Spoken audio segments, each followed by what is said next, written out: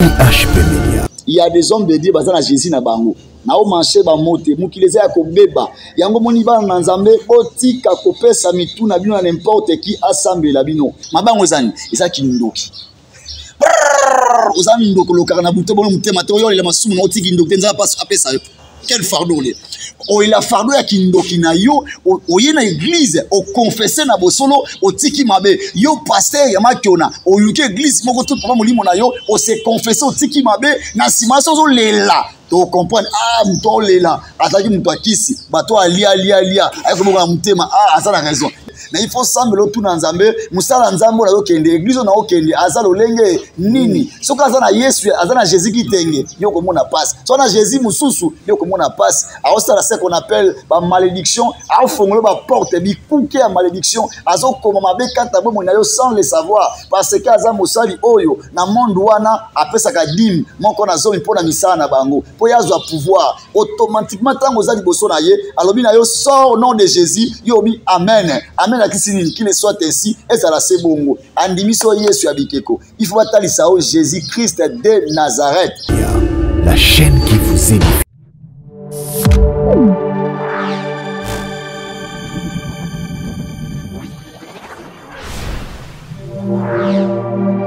IHP Media, la chaîne qui vous édifie.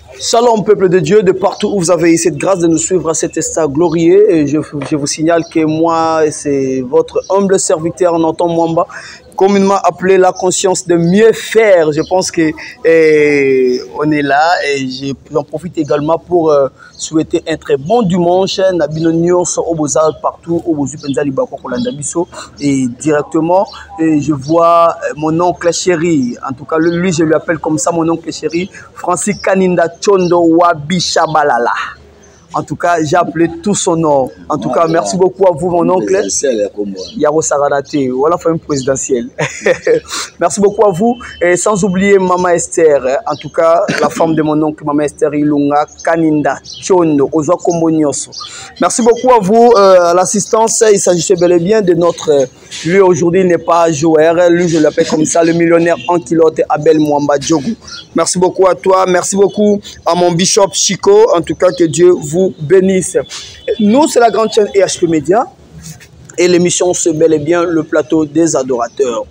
merci e bino baye mpe boyambi biso na bandako na bino toyebi te na nzela na nini na nzela na telefone ordinateur mpe bongo na bongo nzambe ya lola apambola bino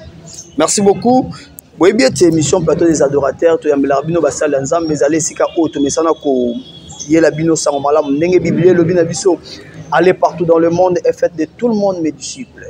yango nde mosala tozocontinue kosala mpenza toyebi ete tozali mpenza ensemble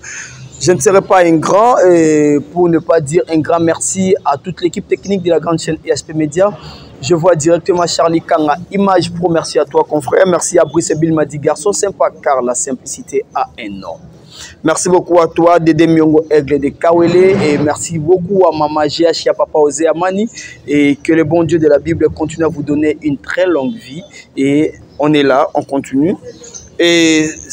Ce matin ou cet après-midi, on n'est pas seul sur ce plateau. Vous pouvez déjà le remarquer. Et nous sommes bel et bien avec l'homme de Dieu, le prophète Joseph Ndakoubi, à qui j'ai dit shalom, papa. Shalom, papa Nathan Mwamba. Boni. Bien Angola Nzambe. Babi, oza prophète olobaka makambo nyonso. Donc, oh non, mungala ata bongo le motema atikala aka mungala. Donc, yo bokendaka nango kaka bongo. Non. on dit verité etikala verité lokuta etikala lokuta soki ozoloba verité ifo loba yango lolenge oyo ezali so olingi omakie verité otia yango pipi na mungwa obebisi yango parce que eza deya verité ezala deya malamu mabe nde batiaka pipi na mungwa mpo ezalaka mabe yango moni ntango nazoloba verité nabetaka sete na bato bakosala mabe batika mabe parce que ntango olobi ndenge nga lelo prophète bato ebele omona obenga te prophète papa alobi nini oui naza prophète ya nzambe oyo nzambe nalobelaka nga soki ye alingi eza profession na nga ce qui est important ezali kosambela kotika masumu po professeur oyo ya lelo babi ndeko nata mwamba akufa jeudi na 24 na 22 heures 5 exemple ti loto a dimanche professeur ebimi babi tout est révélé et connaître de la prière so tosambeli te ekokisanga kokufa okokufa sikoyo nzambe ayebisaka l'avance pourquoi mpo alingi te yo okufa mpo aza na posa na yo nzambe acapable okufa jedi ayebisi prophète moko mpe te atiki okufa okei mpo apermettre yango sikoyo prophesie bato balingi yango mingi yango baprophète ebele ya mankiona bakomi kosakana na bana na nzambe prophète azwi moto apesi ye 15 mil atie ndika awawa alobi ke awa aza milimo ozomona biloko wana nyonso kosi obandi nda kosimba no kuna atuni eloko te no nabenzi eloko te obandi nda kobenda parce que meme ngai ata baprédication na ngai so na église nakendaka tout droit nalinga kolepa bana nzambe te nakeno boye boye boye oh, amene dadi amene dadi mpo nakeno na boye te nga nakeno na boye mpo naboyisa o amen wana naboyisa o amen wana oyo olingi opesa nga ya kolempa nga parce que amen elakisi kile soit ainsi nazoba kile soit ainsi yo osa elongo te akwa boye koloba amen yango ngai azalaka tout droit moto acomprendre olingi naloba oyo ngai azali comprenez que on a déjà commencé mais on n'a pas encore débuté et qu'est ce que je voulais dire par là je voulais se dire que c'est poussé par l'esprit que les hommes ont parlé de sa part soki okamba biso na losambo ya quelques minutes et aux apprendre masange olingi mokonzi na bilaka napesi yo merci yo ndo permettre ngai na ndeko na ngai tosangana mpe tokutana lisusu na dimanche ya lelo ebele baza na salle d'urgence na sois intensif bakozela intervention chirurgicale maintenant na salle d'op defo bazangi mbongo yawe me yo na ngai nzambe abateli biso ape biso makasi ngwele mosantu yango topesi yo merci totiki émission oyo na maboko na yo bayeba kolanda biso na moto akopesa ngai mitu na nzambe na ngai moko moto na ye na plateau obatela biso nzambe na nkombo na yesu kristu oyo azali mokonzi mpe mobikisi na biso amen amen amen en tout cas merci beaucoup je pense que eh, biso soki no tosambeli te tokontinuaka bongo te bien ke maloba eza mpenza ebele ya koloba mokolo lelo mwa ya kosimba eza ebele. Merci beaucoup euh, à mon ami Efra, Efra, celui qui est derrière la caméra en tout cas. Merci beaucoup pour l'assistance, euh, mon petit, je t'aime beaucoup. Et également à Priscilla Ngala, elle aime bien qu'on l'appelle Émérance. En tout cas, merci beaucoup à toi et papa mwa mituna ezali ebele lelo mpenza tomeka koyika mpiko ya kosakana te soki omoni buku efungwami boye seke tozwaki mpenza temps nde tomesana kozwa temps ya kobongisa alors boni sante ya eglise na nkolo sante ya eglise na nkolo ezoleka malamu nzambe azobatela parce que soki toyebi nzambe azobatela te tokomaka ta lokuta nzambe azobatela alobi na biso moko mibale misato baye epai na ye aza kati na biso mwa moko mibale misato tosanganaki lelo dimanche toteyi malamu eleki malamu nakolikya ete esika bakei wana nzambe alola kobatela bango mpe apesi bango mposa ya motema na bango tosambelaka mpo na lokumu ya bato te mpo na lokumu ya pastere te mpo na etuluku ya bato te mai mpo na lokumu ya nzambe en tout cas nzambe azobatela en tout cas boni santé ya église en général aujourd'hui on peut dire que l'église de dieu est, est en bonne santé par rapport à toutes les bavures que vous les hommes de dieu vous êtes en train de faire église ya nzambe mpona korépondre malamu pour ne pas être hypocrite okay. ezokende vraiment mwa malamu te okay. nayimwa malamu te pourquoi eza musala oyo tosala musala ya bato il y a beaucoup des hommes de dieu bakomisi yango misala na bango eglize na ngai ministère na ngai ndako ya nzambe na ngai bandimi na ngai en oubliant que église ali ya nzambe bandimi bazali ya nzambe nous nous sommes les travailleurs de christ l'église c'est l'entreprise de jésus christ de nazareth nous sommes le serviteur tant tokosala yango malamu te nzambe il est censé ya kobengana bandimi wana bakende place ya mosali oyo akosala yango na bosolo mm. église mpena koloba eza kokende malamu na kotiala malamu te parce que église tokomi koyoka soni église ya la place ya esengo eplace ya lokumu me bayike ya bana na nzambe bayike ya basali ya nzambe bazopesa su esengo malamu te na etonga ya nzambe yango nalobi ete église vraiment actuellement ezokende mwa moke malamu te en tout cas église ezokende malamu te alors quelles sont des précautions eh, yango ezali basolution nini oyo mpenza bino tant que basali ya nzambe tant que eh, baserviteur kati ya service ya nkolo bozwi lokola eh, baremède mpo na kozongisa église na lolenge elongobani église d'abord ntango na bino eza malamu te na tie en général oui, oui. mais avec exception Il y a des églises où ils ont malamu. Mais en général, pour Nabi bimisa église na biso de ba sembo to ba santu te. Nabi on a sens. Tango biso beto tuni motuni on ezali par rapport les églises en okay, général. OK, merci. Nabi on a sens ni. Motuna na yo ezopesa ngai moko na esengo ya koloba ezopesa ngai moko na mawa na bato bazolanda komona ete église toloba mabe ya église or église eza place esante place nzambe avandi mabe tokoloba mabe ya bar ya baboite ya baprostitue exemple mais lelo tokoba mabe ya église bakestion wana nakomi koyoka mpasi na mawa ya korépondre parce que l'église maintenant vraiment mabe na kati ya église ekomi kobaa biso ozoluka mokili omona ngo na église ça fait mal ça fait mal ça fait mal nzambe alimbisa biso makasi ndako na ye tokomisi yango esika aliseki mosala na ye tokomisi yango business nzambe yo olimbisa biso natelemi na nkombo ya basali nyonso ya nzambe ya mokili mobimba limbisa biso mpo nazali moko ya bango naza mpe sembo te liboso na yo olimbisa biso mingi ça fait mal papa si on pose question mosusu ça fait mal toleka to évoluer ça fait mal aujourd'hui ça fait mal ça fait mal l'église de dieu ne n'est pas comme auparavant est ce qu'on peut dire que ba ba église nyonso oyo tozali komona ezali mpenza tobenga yango bacor du christ nakoloba oui baeglise nyonso nazo répondre yo te papa nakolo naza nzambe te suis un prophète de dieu mais je ne suis pas dieu mpo nayeba baeglise nyonso ya mokili eza lolenge nini yango naopesa nafunga parenthèse nakanga parenthèse nabi nakoloba oui to mpe nakoloba non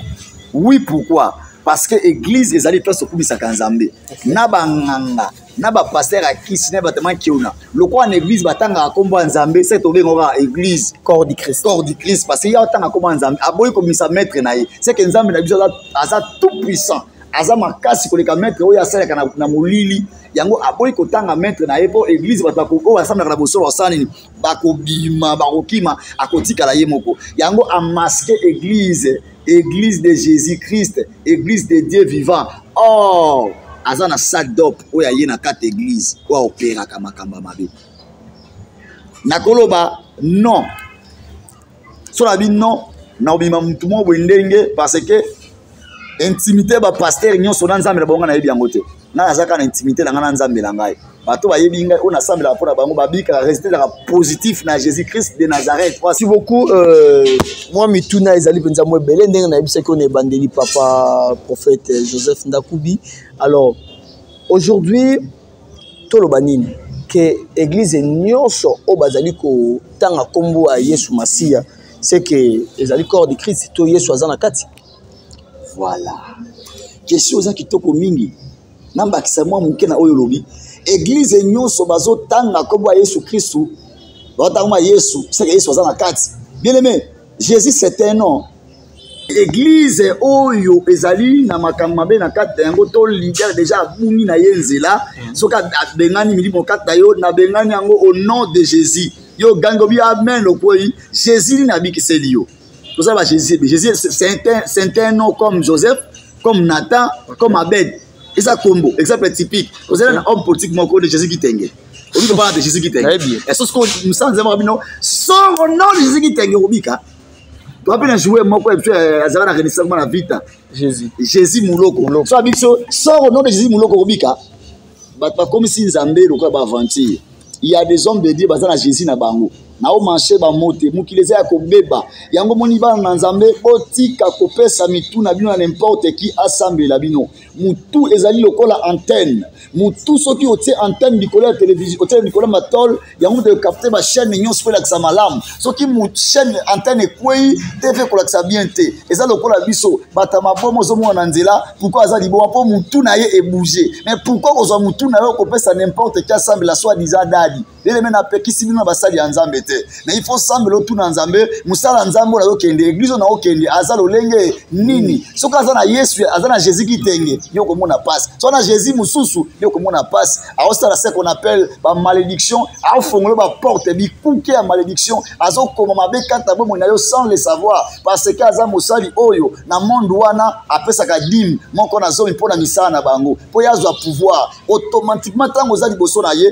alobi na yo sort nom de jésus yo obi amen amen akisi nini kile soit ainsi ezala se bongo andimisi oyo yesu ya bikeko Il faut battre l'Isao Jésus-Christ de Nazareth, le lion des tribus de Juda, Alpha, Omega. Oya oh, kufa atika la volume pour yon anga tozo avi, Yesu Christ wana nde toko bengami mabela komo na ye. Mais ba Yesu mususu wana, point d'interrogation.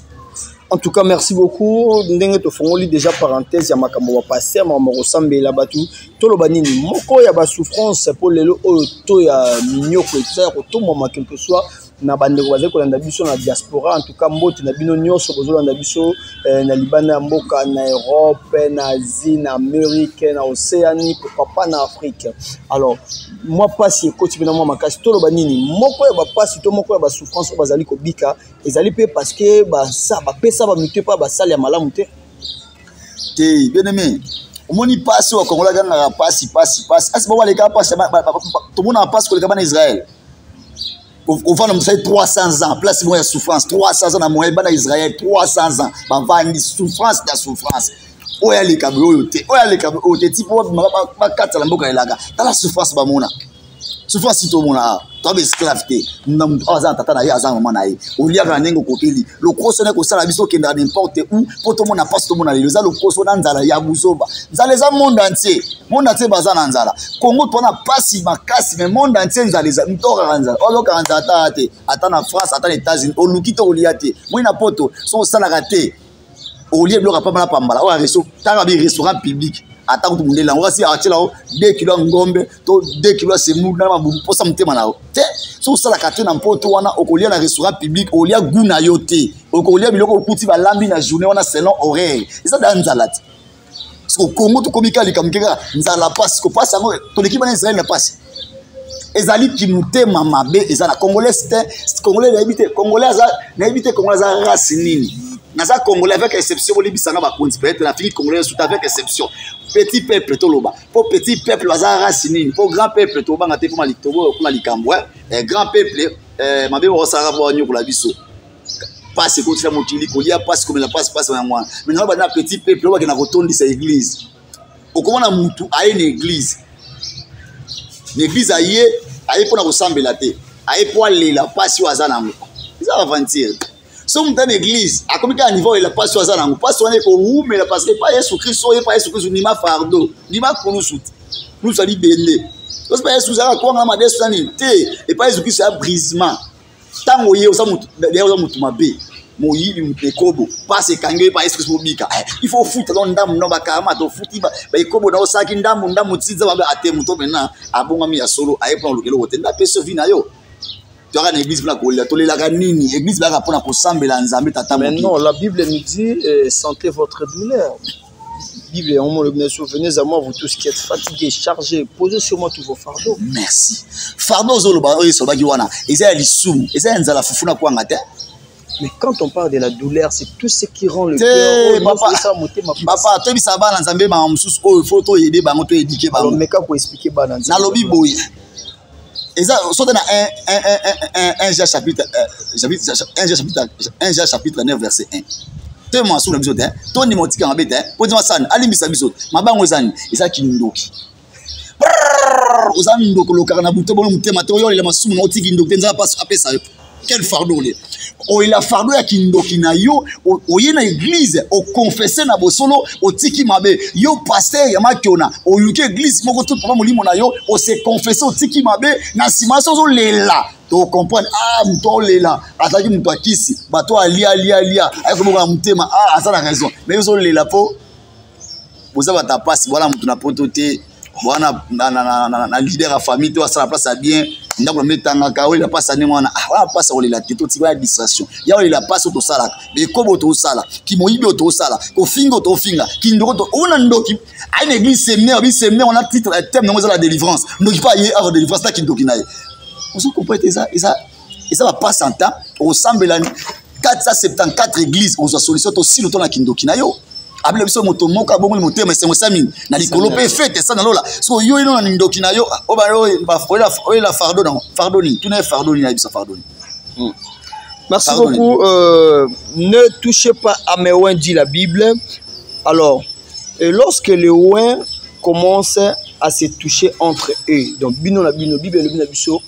touchez pas à mes oins. Parce que tant bino na bino et comme pena batiraïma, alors, il y a mon avis sur tous les cas. Suivons d'abord cette vidéo et on se retrouve juste après. Vous avez vu avec beaucoup de, de, moi personnellement, avec beaucoup de regrets, la sortie médiatique euh, de, de, de Moïse.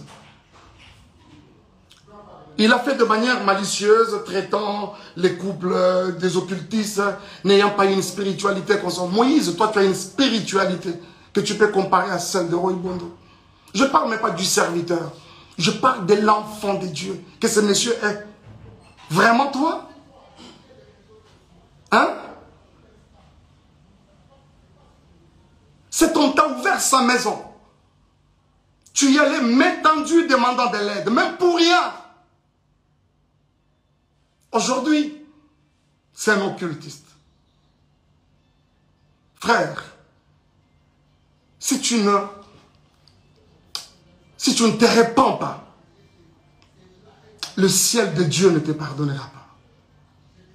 Cette main qui t'a aidé hier, aujourd'hui, tu n'as pas hésité de cracher sur elle. Et tu t'es fait des adeptes pour commencer à insulter les gens, les innocents. je crois que tout le monde, vous tous qui avez regardé, vous essayez de me dire, on n'a pas cité les noms, on n'a pas, on n'a pas, on n'a pas. Mais après, ça a été relayé dans tous les sens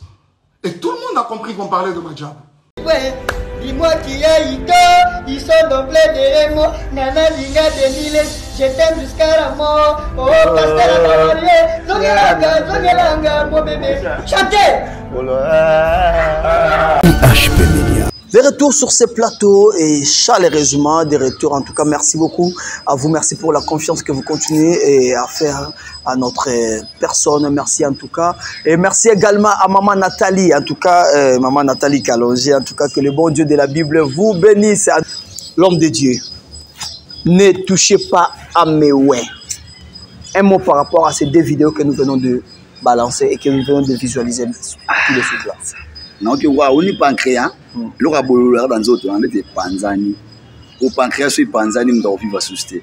me ngai nakovivre na kombo na yesu kristo epanzani ngai te me nayoki lokola epanzani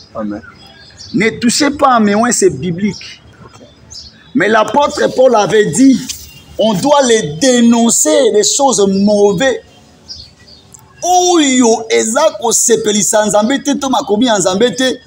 on doit les donner c'est où dans le lieu public afin que mwana nzambe oyo alingaka asala mabe soki amoni mabe nde esamaki liboso balobi abanga apa abombama mais tozokende wapi baeglise yango omona biso yaka na eglise biso ngai akambaka bato baza pena te baeglise oyo omona bango ta bato plein les essentiels spirituels on, on, on tous tosimba bawin te win aza nani ne touche pas à mes win kele le win nani win qui est win win ezali moto azotambola kobanga nzambe oyo nzambe atie mafuta moto oyo nzambe alongoli epakwama na ye atikali mosala ya nzambe me aza na fonction te moto aza na fonction te na nzela akolia mpe nguba oye mpe mbata baso mpe mai mpo osala te ota aza na fonction te atikali poso ya pamba so ozwi tona mafuta sikoyo okotisa lopango awa ekolela tupu tout eza solide consistant na eloko na kati mais tona oyo ezangi eloko otala ata mwana moto asala nini aotindika oyo ezopese te me mosala ya nzambe oyo akoti na monde aba azopese te baopesa respect pourkui soki nga napesi ye respect mpo aza bien édike na mosala nzambe ya solo ya vrai naloba yango oyo ayebi ngai yebi soy un serviteur de dieu nasalelaka nzambe na bosolo nabeba te me mutu oyo deja abeba akomi na misala ya mabe akomi na pratike ya mabe akomi mosali ya nzambe ya kombo nzambe aperdaka te soki ya solo mosali oyo abengama ya solo nzambe abenga ye alongwe mosala ya nzambe te me nzambe alongoli kaka oyo atiaka te lokola support ocomprendre eh? mais mokolo akobongola motema na bosolo nzambe akoyamba ya kozongisele nyonso ya nzambe aza bongo amoteya malamu nzambe amama ah, na moteya malamu koleka mokili mobimba paster aofinga paster paster atieli paster poison paster aolinga mwasi ya paster paster aolinga mwana ya paster paster azolinga protocole paster mamadi ya connaisse deja abala paster azolinga kopesa makangu na ye paster bayeli moto na eglise aza maladi paster aboyi kopesa mo mpo asesoigne ye sikoyo yo paster okoteya biso nini tala paster aoningeli paster nakorepondre yo nsima avec méchanceté ekomi bongo lolenge nini papa okomona mokolo moko te mbwa aswi mbwa mbwa aswaka mbwa te mbwa abundaka na mbwa agangelaka mbwa babundi basisi bakabwani lobi bakolia biloko mpo azali mbwa ye mpo azali mbwa lion aswaka lion te lion abundaka na moninga na ye lion basali bitumba bakabwani batiki soki omoni mbwa akomi koswa mbwa ekomi grave elekela nga ekomi grave mpe suspect ça reste à vérifier mm. ça reste à vérifier ça fait mal bien aimé naolinga aloba eloko moko to repentir na bosolo tobongola motema tozala koka bangulu te orepentir na télévision osengi bolimbisi apres ozongi makambo wana tolimbisi osu te boni baje boye pourkui bosaka na nzambe na biso yango boye boyebisa bakolo bakolo na bino bakolo na bino oyo apeka no bakisi bodomine bana nzambe boyiba ba mbongo ya kolia na poche botia na poche na bapoto fa mituka minene boyebisa bango bamaître oyo bino boservaka mais pourquoi boseboke na nzambe oyo ya biso bokomi kokisa biso soni liboso ya bana na nzambe mais pourquoi ça s'il vous plaît na supplie bino tomeka kobongola mitema repentez vous les hommes de dieu tobongola mitema totika mokili eza na eloko moko te osimbi kisi pokoma na mituka ebele okufa bakundu ata na motuka moko te osimbi kisi koma na mbongo ebele okufa bakundu ata na de euro na kati na poshe na yo te osimbi kisi okendaka bapoto ebele mokolo okuta bakundu na poto kaka moko so ya france bakundu kaka na france bakundu na allemagne na france na europe esangana te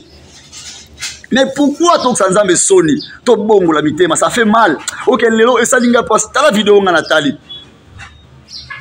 okomona paster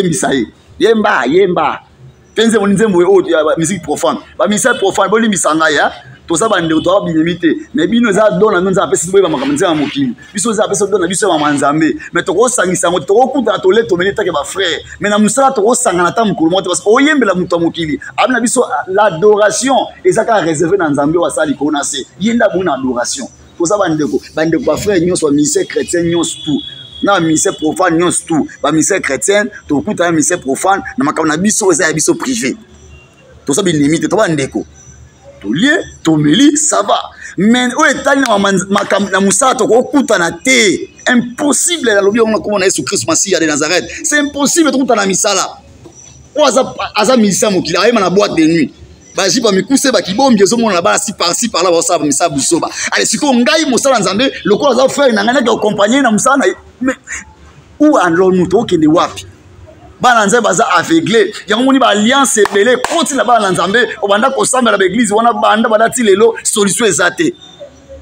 ozwa solution wapi parce que mosali ya nzambe wana abeba abunga nzela saul tobongola mitema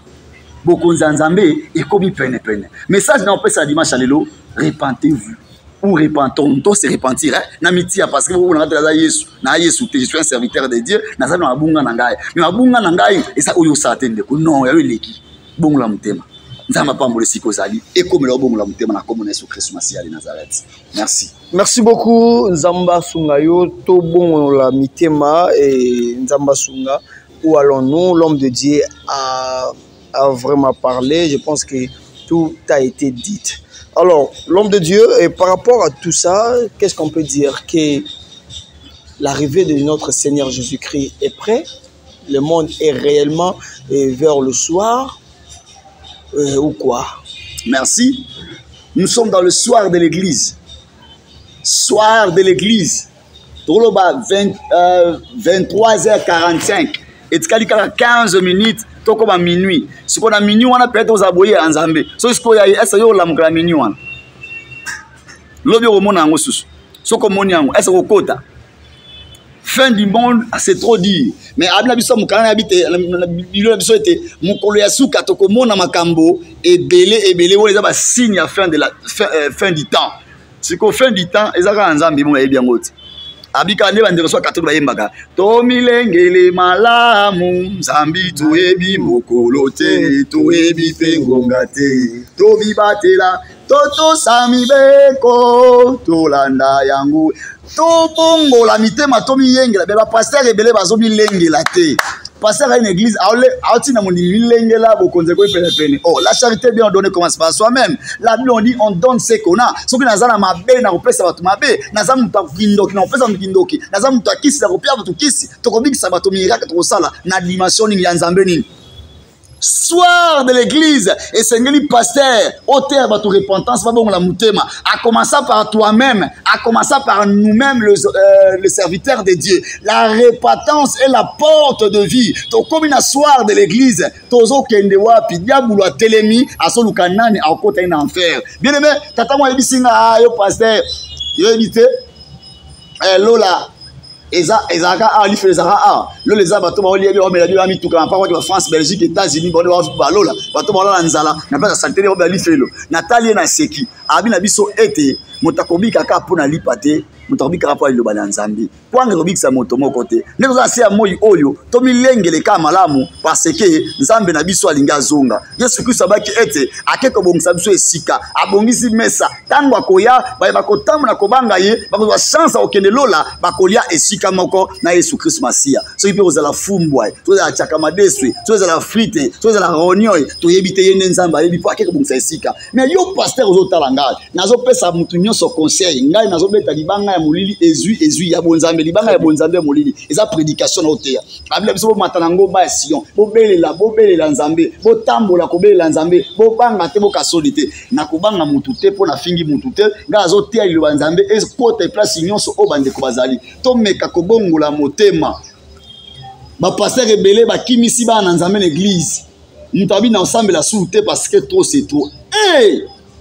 mokolo wane mokolo wane mokolo wana ndeko kozala wapi mokolo wane mokolo wane mokolo wana pastere yo kozala wapi pastere mokolo wana kozala wapi profete ya mankiona mokolo kozala wapi nazoteya yo nayebi oza mosali ya nzambe ya solo eza mokili na entourage nde ebungisi yo nzela tozonga na bonzambe tozonga na bonzambe s'il vous plaît toyoki soni na eklesia eglize ekomi place ya soni nalati col pastora na oleka lelo baotonga batianga boye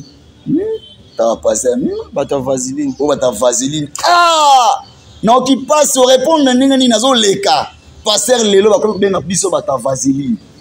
vaseline tobei na kala eh, eh, kotia yango bana soki baziki eh, bana soki babebe soki baziki ye bamama baapolo vaseline mpo esisa mwa barouge wana mm. mais lelo babe non ça fait mal ça fait mal ça fait mal ntango bafingi yo exemple typique tala elongi lokola ntaba seke famille na bino mobimba so bokoka bilongi moko seke boza nini lokola bantaba mais bafingi kaka moko na bino me bokokana c'est pareil avec nous les hommes de dieu so bafingi moko na biso biso nyonso ba ntaba bolumu ya eglize ekomi kobima na sepela na basango basango eh.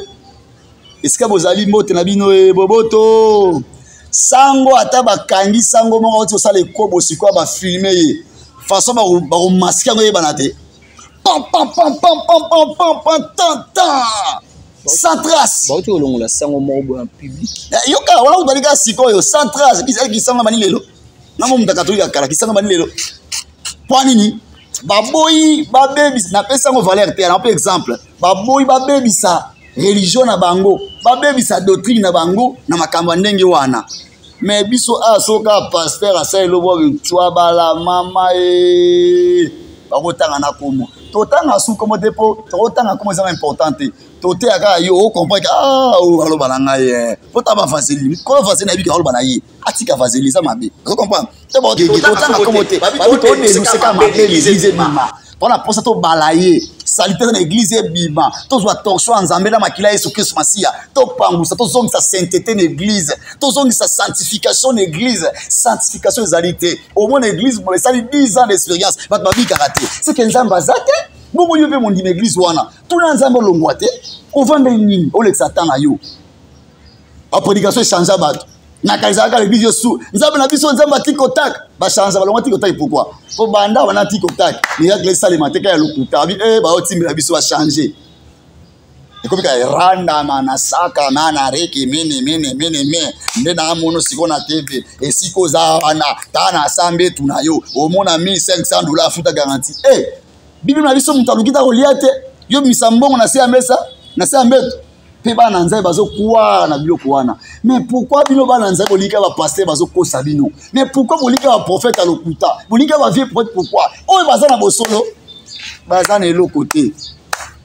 baza ata na mituka malonga te baza na ndako alonga te defo bampa matembele kaka na debule funa matembele na na thomson pourquoi ateyi yo bosolo moto abiki akimi na ye me bato alokuta lokola baza na a ah, baza banioka baza na venin ntango azoba yo likambo adomine yo sur place naza na motu moko histoire vrai nasamblaka ndeko moko na france na ntango akombo na ye te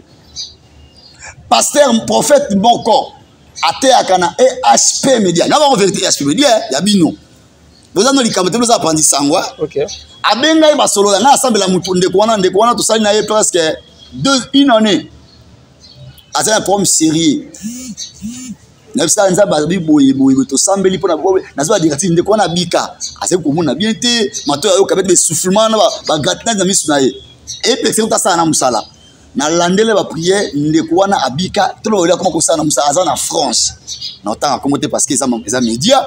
ndeko wana abenga nga ah, papa ntuka na bika atindela nga mbongo na télévision mposa mpe témoignage atindela nga 80 euro atinda nga 60 euro atinda nga telefone nde abika sikoyo lokola bana nzambe bazala motema moto moto alika abika kaka nyonso lelo mpo moto abikisa eza biso te nzambe azwi prophète moko boye na hp media kanga ata osambela na ye prophète abi nazolo prophétie okufa bateki yo na 200 dollars na famille no mpo okufa na mwa oyo esila te soki bapesi 200 dollars osombi liwa na yo je suis un serviteur avec, avec col pastora nazoloba ngo nzambe azokanga abi na ye soki epesi kela obika envoutement il était envoute apesi mbongo ntango apesi mbongo asambi yango balonga te kaka moke 3 minutes esili nango esili eleki mikolo asengi su mbongo eleki mikolo asengi su mbongo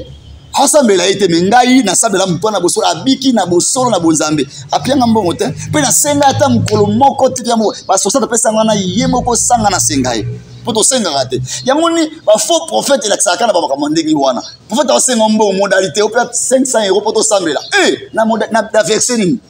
genesi na apocalypse eza te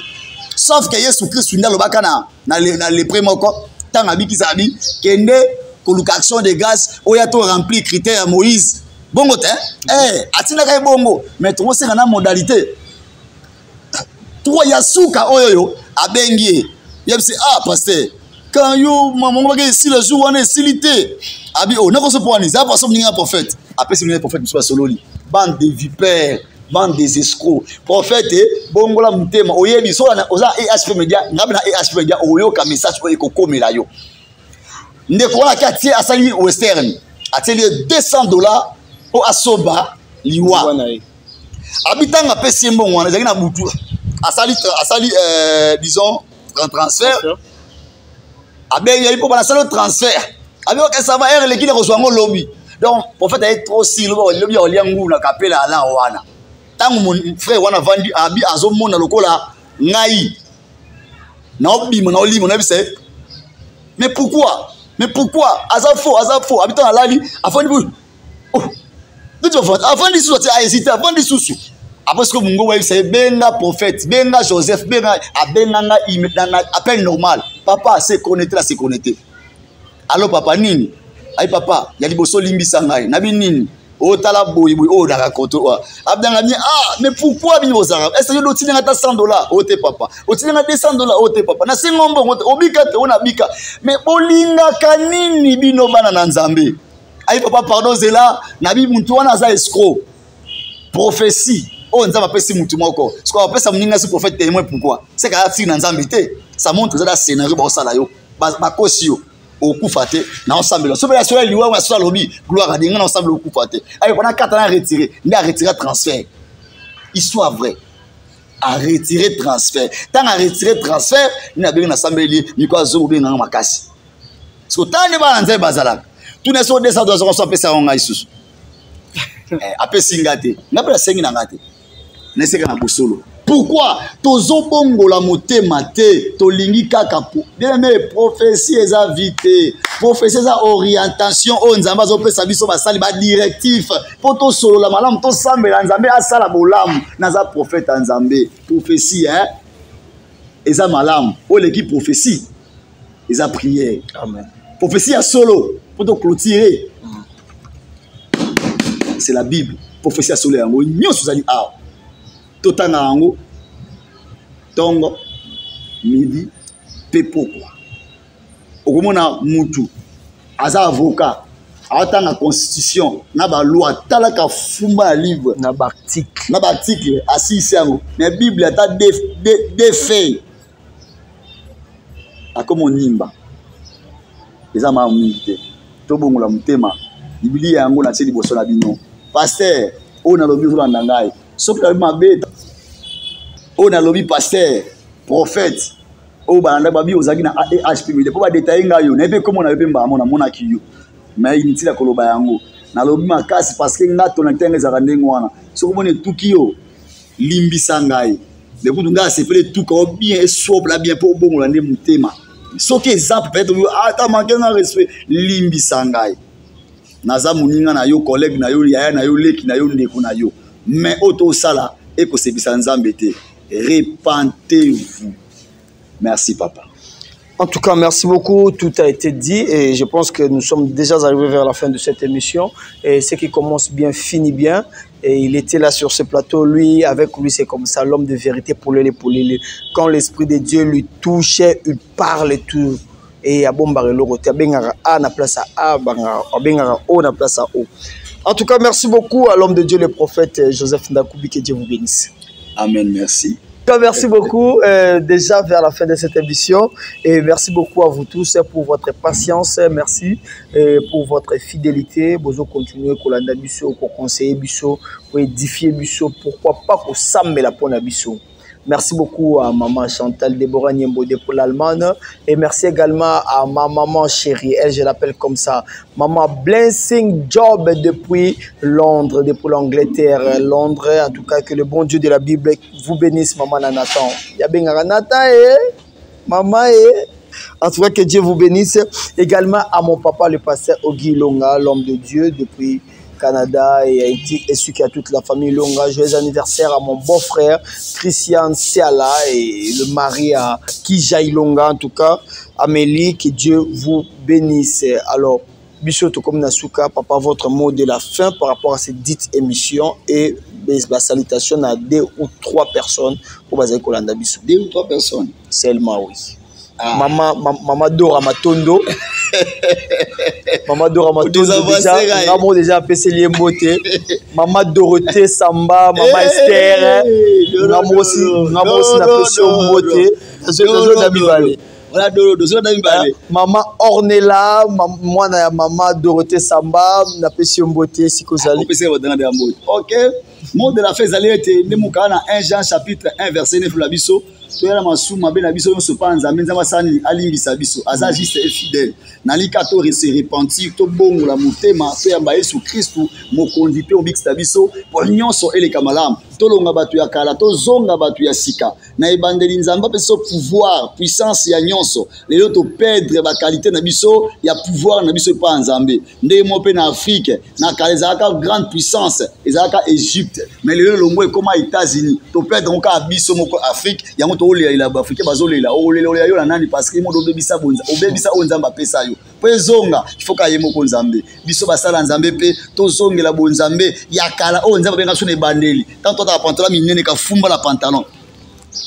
na veste ti awa ata moto atai 56 akabeli wa moto atai 32 olati yango yabosa odimisa atangaka tomiyebaka te tozonga na sertokomi sur mesure mai tobanga kaka nzambe te toza mitema mabe liboso ya nzambe na biso basala nzambe banga nzambe te boza motema mabe ya mabe mabe makasi tobongola motema tozala reconnaissant na nzambe oyo akela likolo na se nzambe oyo apesi ngai pema nzambe oyo ape na ngai beloko moko bino bapaster oyo bosimbi kisi mpo na kokosa bana na nzambe bozobosana ete nzambe moto apermettre yango esimba oye pourkui mpo mokili eza ya ye so aboyaki na obe liboma so aboyaki na ye mokufi nzambe apermetre mpo mokili eza ya nzambe mono asimikisa mokili na ngai balukeli ngai na mawa na ye bosava natipesi ye mokongo asala oyo alingi ntango diabulu akomanipile manipile manipile manipile yo apo ye kozonga mpe baokaka soni mpo abongola mitema tala bapaster wana so babunga nzela baza difficile babongola motema tooteya bango toli babongola motema te bobosana ntango osimbi kisi esimbi ozoliaka liaka bato mbongo kanisi nzambe aza bolole te nzambe apermetre esama mokili ne mposo aboyaki na mokili naye osimba kisi na mokili nini mpo mokili yaka moko ya nzambe deuxième monde emonanaka te eza monde invisible ndenge osala makiona na yo wana se ne pas dit ke nzambe aza bolole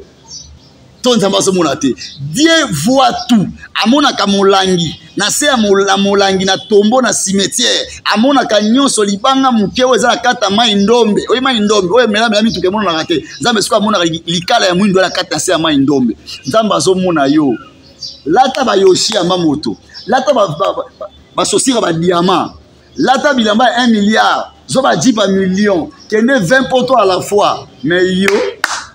soki obongoli motema te soki obongoli motema te ndeko na ngai nzambe akofrape yo tobongola motema napesi mbote ah ma dorodorodorodoro te deja bapesaki mbote naki dorodoro te napesi mama eveline matunga mbote mingi esika aza na france akolanda ngai na mobali na ye papa serge matunga na mwana biso Esther Matunga, Esta, Esta, Esta. Topesi bino nyonso mbote. Ngoma Raymond, mon petit que j'aime beaucoup, mbote ya trop. napesi mama euh, maravira nisha mbote papa blaise mobali na ye napesi bino mbote mingi papa na biso christophe banga ndombala leticia rite percy banga ndombala mama okay. julie banga ndombala napesi bino nyonso mbote na nkombo na yesu kristu masiya boza ebele nabosani te mama na biso oyo tobengaka mama ivete banda mukendi mwasi okay. ya papa andi nzambe alola apambola bino mpe herve lusinde raisa lusinde mbote ya mingi merci boza ebele en tout cas merci beaucoup merci ya mama merveille